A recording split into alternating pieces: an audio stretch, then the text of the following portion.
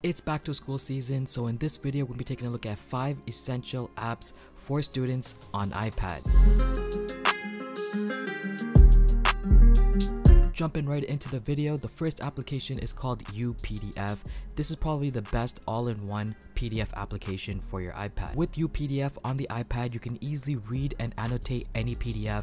They also have a Mac application that supports AI and OCR. So if I go into the application right now, I can pull up any PDF. So I actually have like PDF textbooks. And if I open up the PDF textbook, I can easily annotate.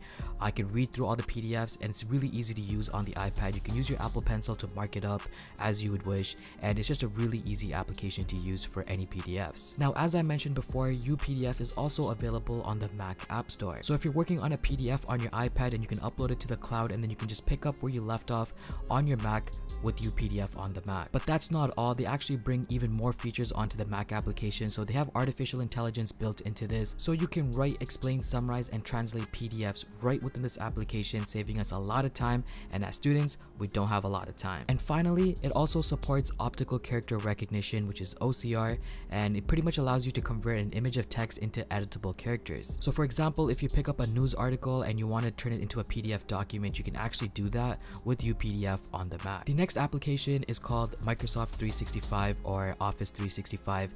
Now as students, this is probably one of the best applications available. In Office 365, you get the top three applications that you need from Microsoft being Microsoft Word, PowerPoint, and Excel. I'm not going to go into details about how to use Word or PowerPoint or Excel. You probably already know that, but the best thing about this application is that you can have all of those files in one place instead of having three separate applications. And the main reason I want to include this app in this video is because if you're a student in like college or university, there's a high chance that your school is partnered with Microsoft. So if you have a student email, you can actually use it with this application and you don't have to pay the subscription fee because the school is already paying for it. So might as well take advantage of that. I didn't know this in my first year of studies. I found out in my second year and that's when I started using these apps because it's pretty much free for all students if your school is partnered with Microsoft. The next application is called Sketchbook and for this application is pretty much like Procreate. So if you're aware of Procreate, it pretty much allows you to do a lot of sketchworks like artworks that you can do directly on the iPad.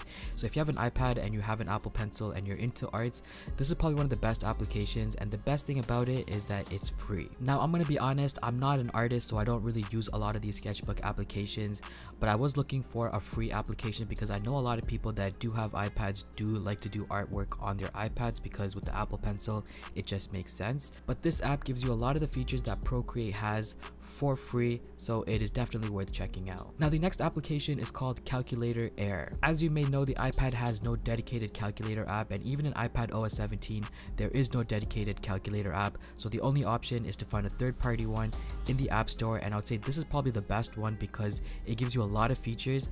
It does have a paid tier which gives you the more features, but also as a standard calculator without having to pay for it, it's also solid. With the paid tier, you can actually take pictures of equations and have it solved and you can also sketch out equations equations and also have that solved right on your iPad. And finally, the last application for this video is Bing. Now I don't use Bing for its web searching capabilities, I actually use it for its built-in AI and I've used this in a lot of courses and I've got to say it's helped me out a ton. You can pretty much ask it anything and it's going to give you some accurate answers.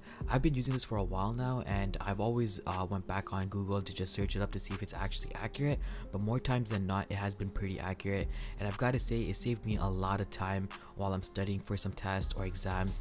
It helped me out a lot. And that's pretty much it for this video. If you guys did find this video useful, make sure to give this video a big thumbs up. If there's an application that I missed and you feel like it should be included, let me know in the comment section below. But that's all for this video.